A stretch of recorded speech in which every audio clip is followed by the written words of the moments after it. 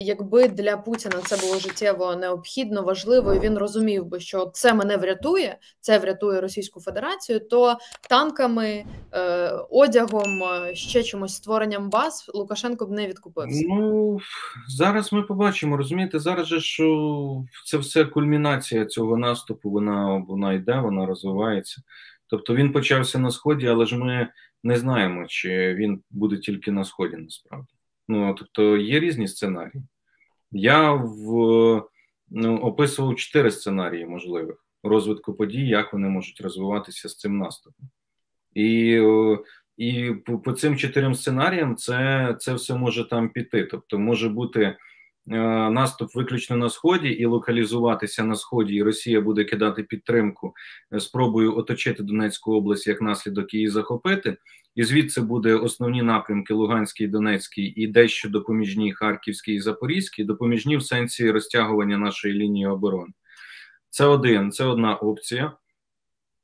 Друга, це те, що наступ може розширитися через задіяння російських військ через Сумський напрямок, наприклад, тобто не просто де зараз вони на Куп'янськ рухаються, а далі західніше за Харків. Тут і е, додатися більш масовані атаки з півдня.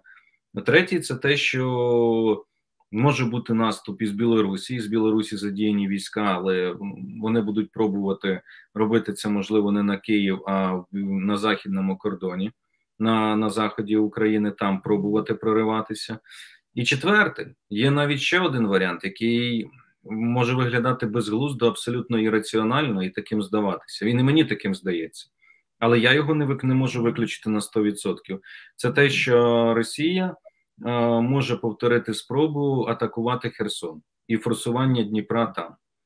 Ну тому що вони будуть думати, що досягнуть таким чином раптовості. Вони будуть думати, що можливо українських сил там менше, ніж їм насправді здається, що вони можуть це здійснити і таким чином прорватися там. Поки що там Е, збільшення російської військової присутності не видно, але от збільшення масованих обстрілів реактивної ствольної артилерії по Херсону і околицях дуже простежується, вона дуже зросла. Е, оце чотири сценарії, щонайменше. Їх можна змінювати, доповнювати. Якийсь із них виглядає більш ймовірним, бо ми його вже спостерігаємо, наприклад, перший. Е, другий виглядає таким, що може як наслідок, як розвиток ну, до першого, тобто він він е, теж вписується в це.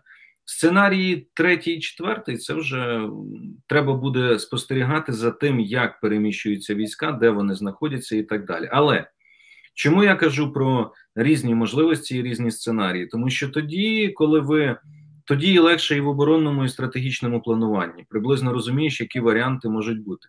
А коли говорять про те, що е, знаєте, аргументуючи це тим, сил недостатньо у Росії, чи Путін не піде, чи ще щось. Та Путін стільки наробив помилок, він стільки наробив безглуздих дій за це повномасштабне вторгнення. Він стільки наробив ірраціональних безумних вчинків, що, ну, власне кажучи, через це він і досягне і не досягнув перемоги за рік повномасштабного вторгнення. Це добре для нас, але е, не дуже добре для нас, тим, що це, це сценарії постійної ескалації, допоки в них є хоч якийсь ресурс. А ресурсу багато. Я, до речі, вчора спілкувалася з Віктором Єгоном, і він сказав, що ось такий наступ Російської Федерації, який триває ну зараз за різними оцінками близько двох тижнів вже mm-hmm. триває да, з того часу, як mm-hmm. активно почали говорити про це.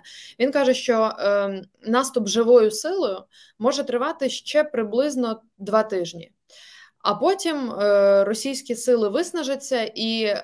Потім Росія буде е, схиляти наполегливі, наполегливіше Україну до перемовин. Чи згодні ви з такою думкою? Ну Бачите, ви правильно оцінили, коли наступальні дії почалися на сході, десь приблизно, тому що якраз е, на 1 лютого отримували війська російські, які на Луганському напрямку наказ висуватися туди і проводити наступальні дії в бік Лиману. 28 січня їм давали відповідні накази. На 1 лютого вони е, вже мали бути на точках і продовжувати. І це і це і це продовжувалось так. Що стосується двох тижнів, я хотів би, щоб це було так насправді. і хотів, щоб цей прогноз збувся навіть не, не два тижні, а можливо 10 днів.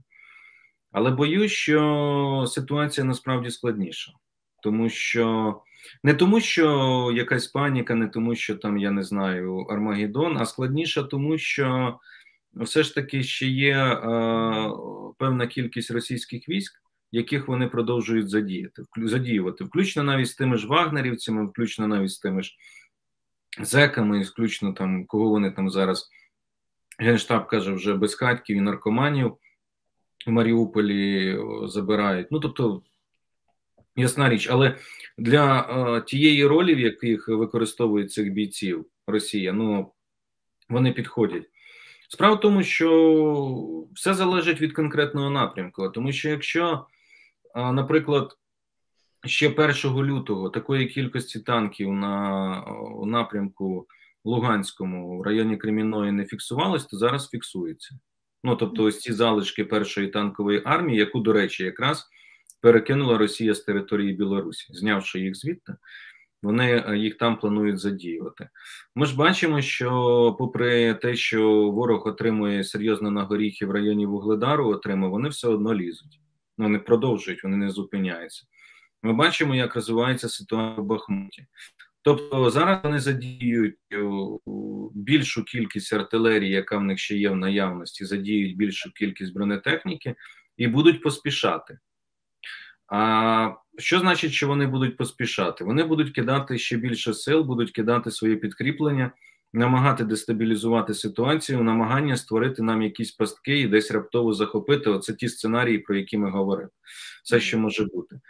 І, в принципі, для нас це виклик в тому сенсі, що їх ще, що їх ще є багато, і їх треба знищувати. Це очевидно, те, що робиться під Бахмутом.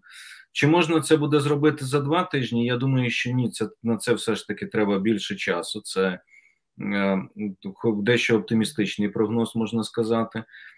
Але є одна особливість цікава. Справа в тому, що мені здається, ось ці заяви, які пролунали на Рамштайні цього тижня від міністра оборони е, США Ллойда Остіна, він сказав, що українські війська будуть контрнаступати весною. Ну, він озвучив терміни. Ніхто з одного боку, що це означає? Це означає, що у наших партнерів є впевненість, що ми можемо відбити атаки Росії, і ця впевненість вона дійсно присутня, вона зростає. В цьому сенсі, до речі, так відволікаючись, але це важлива подія, що Ізраїль відновив роботу свого посольства. Так зараз. Рік тому була зовсім протилежна ситуація. Посольства їхали зараз. Звертаються навіть ті, хто чекав найдовше, і ніхто не їде. Тобто, це ну скажімо, все ж таки позитивний сигнал, ніж був рік тому. Е, і е, Ллойд Остін, коли говорить про весну, це ж знаєте, теж так. Ну, давай наступай. Ну, тобто, це зрозуміло пас Путіну, а Путін чує це все, значить, вони це все аналізують, сидять там в генштабі у Герасимова і думають так. Значить, це через місяць у України буде вже багато техніки тут. Значить, це Україна почне її застосовувати. Значить, вони готуються до контрнаступу. Значить, вони будуть наносити по нам надзвичайно потужні удари. Значить, вони розраховують на якийсь ресурс. Тому давайте поспішати, інакше ну ми не досягнемо успіху. Приблизно така логіка задіється. Що відбувається, коли поспішають? Коли сильно поспішаєш, і коли ти хочеш виконати, досягнути якісь цілі і завдання, в тебе це не завжди добре виходить. Ти допускаєшся помилок. Чим більше поспішаєш, тим більше помилок. На прикладі російської армії, на прикладі цієї війни, це було неодноразово. А що це означає? Як наслідок помилки, наслідок ти відкриваєшся, тебе можна захопити десь зненацька і навіть переходити в якісь локальні такі невеликі контратаки, точкові за окремими напрямками. Навіть на це є розрахунок. Тобто, ось в цьому сенсі можна бути налаштованими оптимістично. Але в сенсі того, що це все тільки там на два тижні, я думаю, що ні. Я думаю, що протягом двох тижнів ще ці події вони можуть навпаки розвиватися ще більше.